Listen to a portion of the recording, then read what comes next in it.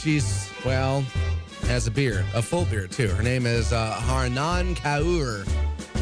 Um, 11 years old, began sprouting facial hair, and, you know, what do you do? You shave it, and you wax it, bleach it, and it comes back thicker and darker, right?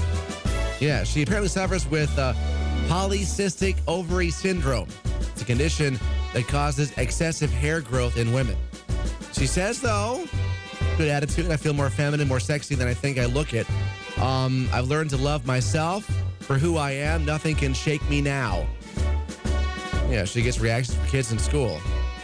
They think it's a Halloween costume. No, no, no. This is real. Yeah, and she's actually had, well, thanks to today's technology and YouTube, marriage proposals because people see the story, which you can watch as well on our Facebook page. You can see the bearded lady picture of her as well. And she's getting marriage proposals because, well, she's a chick and she has a full beard. And guys are into that sort of thing, certain ones. All right, all this over pork pie. It happened in England, a brawl. Yeah, uh, had a wedding. The reception got a little out of hand. Yeah, it was an ongoing disturbance, the police say.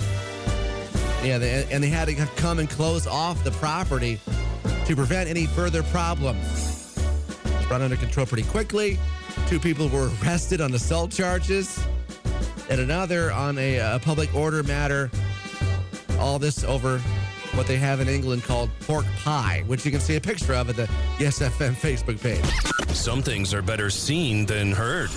See Yes FM stupid and entertainment news reports now at the Yes FM YouTube channel. Get the link now at yesfm.com. 96.7 Yes FM.